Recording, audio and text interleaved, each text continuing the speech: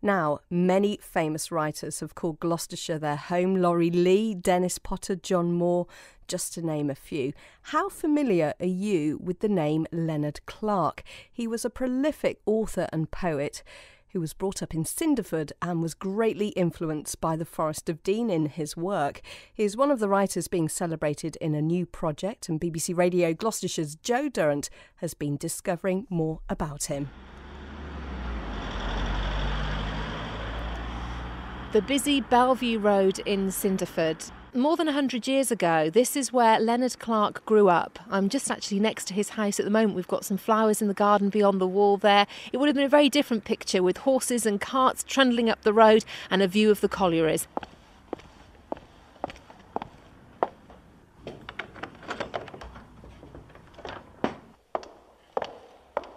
This is St Stephen's Church, and it's somewhere that Leonard Clark was very familiar with. He was a chorister here, he worshipped here, and ultimately it's his final resting place.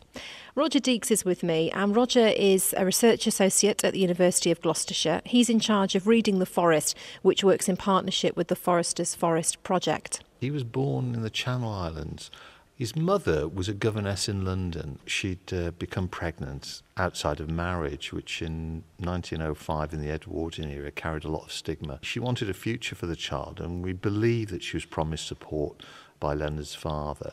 So what she did, she contacted an old friend, somebody called Sarah George, who lived here on Bellevue Road, who'd also, as a lot of forest women had at that time, uh, been in service in London. And she asked if Sarah could take uh, Leonard and look after him. So he came apparently as a baby in a in a small cot, six months old, to Newnham Station, and he grew up in Cinderford, a town that he really came to love. When he was uh, celebrated by the town, they called him their adopted son. He actually taught in the school here. And this was the big, big influence over his life and his poetry. Tell us about some of the, the, the work that he, he created because he was prolific, wasn't he? Yeah, he was, and he, his early influence was uh, F.W. Harvey. If you read uh, the books he wrote, he wrote two biographical books later in his life called Fool in the Forest and Green Wood. They're really lovely books. All the chapters are little stories in themselves about growing up. And he describes in one of those stories meeting F.W. Harvey, the, uh, the poet. And Harvey introduced him to how to write poems, gave him some early tuition in fact wrote the foreword to his first book of poems. It was published in 1922, a very small volume. He wrote poems that were published in newspapers. He didn't have another publication until almost the Second World War. That was because he was pursuing his career as a teacher. F.W. Harvey was his best man when he was married in this church, St. Stephen's. And he started writing about other poets. And he also, very importantly, started to produce anthologies. These were books of other people's poems that he thought children would appreciate. By then, he was a school inspector and he was really very influential in how people taught poetry in school. He believed that, that poetry for children should be very simple and very accessible. He had a view that children would be interested in natural history, so he produced lots of poems and anthologies, which were, again, based on his childhood experience about the woods, about the flora and fauna that you find in the countryside. He was the, one of the longest serving school inspectors. He was friends with all the great poets of that era, John Betjeman, and then later on Ted Hughes. In fact, he was awarded an OBE for the, for the work he'd done in terms of children's literature. So he was very acclaimed. Later on, he wrote a poem, which he wrote a, a book of a volume of poems called uh, Intimate Landscape. It really is a, a look back on the area, you know, the history, the heritage of the forest, the people, but it's a very personal, deeply personal uh, work about the forest and, and, his, and his experience of it.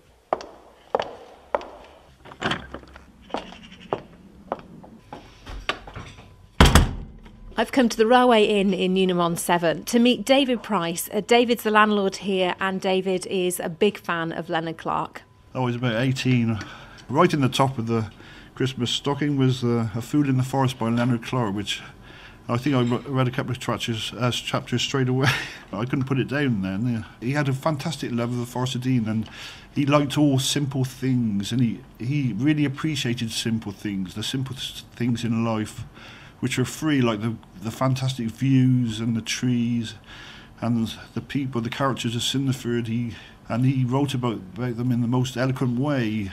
The, there's a view from Cinderford which is... Uh, one of the best views in the whole country, which people just drive by and take for granted. But Leonard Clark, he saw that view and he wrote about it, he appreciated it and he wrote about it in an eloquent way.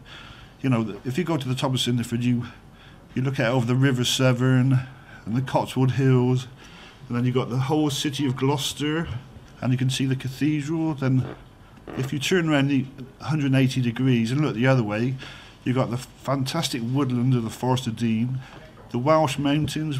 He's a very underrated poet. He, he, he deserves a lot more recognition especially for the town of Cinderford. Poor old Cinderford gets a lot of stick, but it's, it is a, in a lovely setting, and Leonard Clark appreciated it and wrote about it. What a fascinating man. Part two next week on the show about Leonard Clark.